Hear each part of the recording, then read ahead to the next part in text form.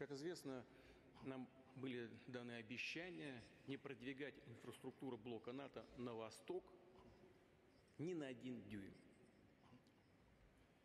Всем это хорошо известно. Сегодня мы видим, где находится НАТО.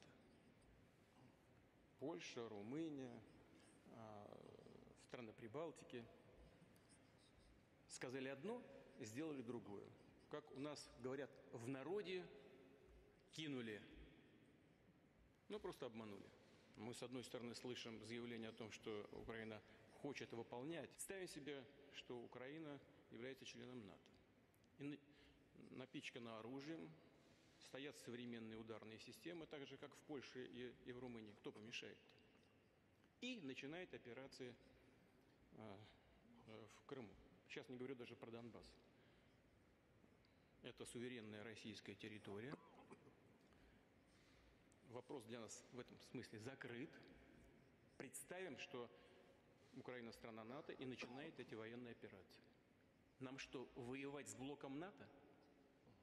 Ну кто-нибудь об этом хоть что-нибудь подумал? Похоже, что нет.